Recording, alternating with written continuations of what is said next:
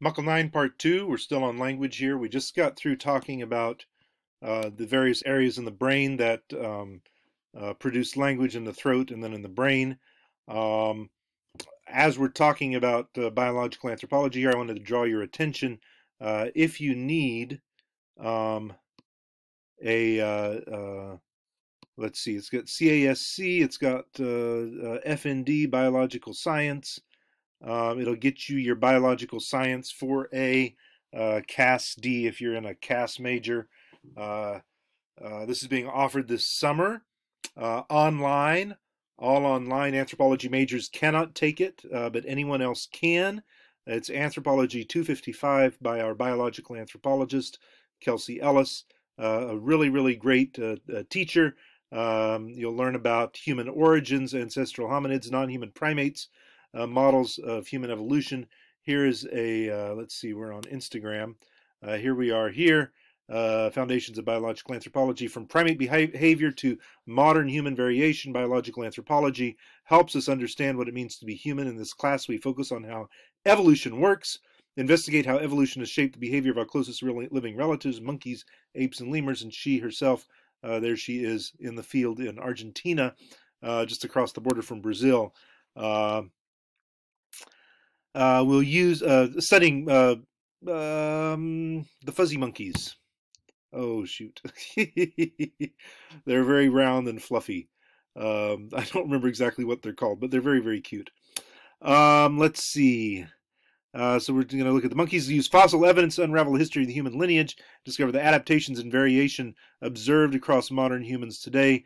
Uh, of course, in the lab, this is what you would be doing, but she has brought it online, uh, so consider taking that. There's a little uh, plug for anthropology there. Pardon me. Studying language through the lens of anthropology, what does a linguistic anthropologist do? Uh, uh, linguistic anthropologists discern the logic of other people's realities. Everyone's reality is filtered through uh, their description of it um, using language, and that language is logically um, controlled. It's a very, very systematic um, um, mathematical process of how language works. Uh, so it's very interesting for that. Uh, so we're going to, uh, uh as, as, linguistic anthropologists, also examine the relationships between language, uh, that is language is communication, uh, between language and cognition, that is between um, communication and thought, and then larger social life. Uh, recording a language, anthropologists are mainly interested in spoken or signed language, not written language. Uh, by the time you've written it down, it's already spoiled. It's gotten too formalized. There's too many rules. It's too connected to um, authority and power and the right way to do it. Uh, it's lost all of its naturalness. But when we speak, still, uh, when we talk, uh, we we we have a little more natural uh, inflection and, and pronunciation and the way we put words together is, is a lot more normal uh, than when we start writing it down. The only place that we write that is interesting to anthropologists tends to be texting. Um, texting is genuine and immediate, and people do it without being concerned about uh, uh, punctuation and spelling and all that. So um, that's that's really uh, interesting to us.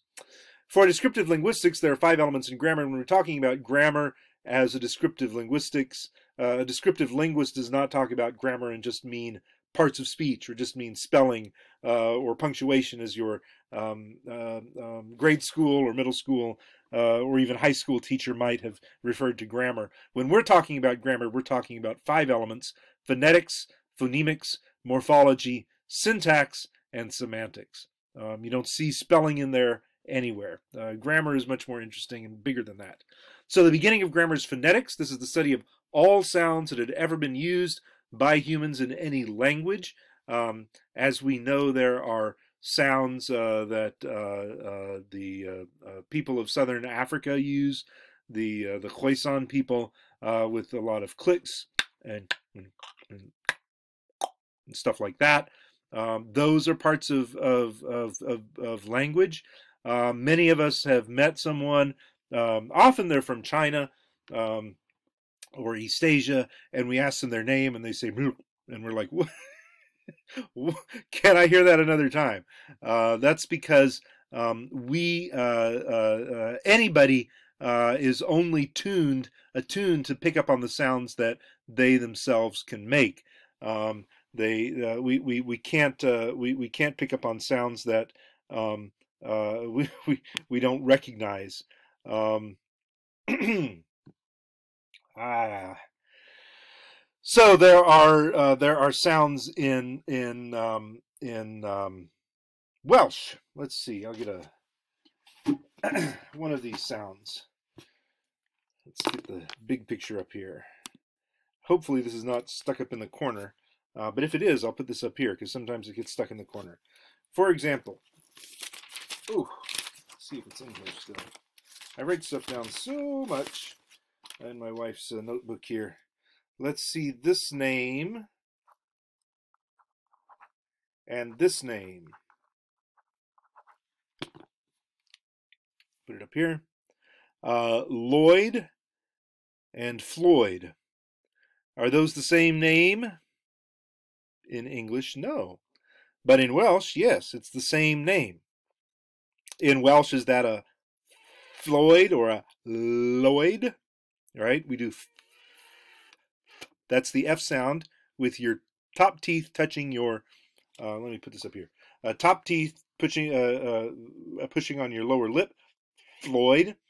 Um, and then the other one is la, la, with your uh, tongue pushing against the roof of your mouth up there at the front, la, the hard palate, um, la, la.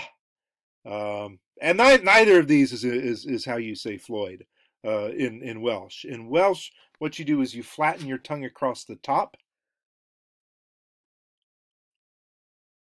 make it wide, and then touch it to your teeth at the top. So make it wide and flat across the top like a bar across your, your tongue, and then touch it to the teeth on either side, and then blow out.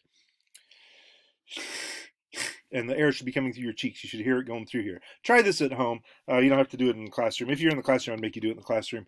Uh, Lloyd. Be careful you don't have any spit in there because it'll just throw spit everywhere. Lloyd. Lloyd. Lloyd. Is there anywhere a... No. Lloyd. Is there anywhere a la? No. Floyd. Floyd. Okay? So that is known as a lateral. Lateral because your tongue is flat across your mouth. Um, and we have a lateral in English. It's called the um, lateral R. And this is the uh, this is the um, the um, terminal R. Terminal R. So we have a initial and a medial and terminal. Ra, ra, and then er, er. So the ra, the initial R, ra, that's a different sound than the er. It's a different part of the mouth, completely different sound. Um, we use the same uh, symbol um, to refer to it, but it's a different sound. It's like uh, it's like S versus Z, right? Cars, houses, right? The first S is a S, the second S is a Z. Houses. Um, we don't say houses. Well, maybe we do say houses. I say houses. but there's two different sounds with a sing uh, a single sign, um, and it's the same with the the initial R versus the terminal R. Okay, so that's a lateral. You feel your tongue; it's pushed up against the sides. Right? Okay, um, and then we have another weird one in English uh, called the uh, uh, liquid. L I Q. These are these are sort of uh, they're halfway between consonants and vowels. Nobody's really sure whether they're a consonant or a vowel. Uh, vowels have uh, air passing through, so there's some kind of vowel, um, but uh, there's something uh, consonantal about them. Consonants consonants usually stops or or fricatives where there's um, or right. Either the air stops flowing or it's flowing uh, through a, a, very tight aperture. Um, and vowels usually just open ah, e, oo, yeah. Uh, so this is somewhere in between these liquid, oh, liquid L. Uh, the term, and this is again the terminal. Terminals are always crazy in English. Terminal L um, is uh, uh, uh, not the one that starts. The one that starts has that flap, la, right? Like, lap, um, liquid, right? You got a la in there. Uh, but when you get to the terminal in American English, it goes oh, oh, and there's never a flap at the end. You don't say feel right? That's how a foreigner speaks uh, American English. They say, "Oh, how do you feel?" Right? Feel, la, feel, and I'm like, "No, no, no, feel." They're like, "No, no, no. There's an L there. You should say it. You know, it's your language. You should learn how to speak your language. Feel." I'm like, "No, no, no. Feel." But what does it stop?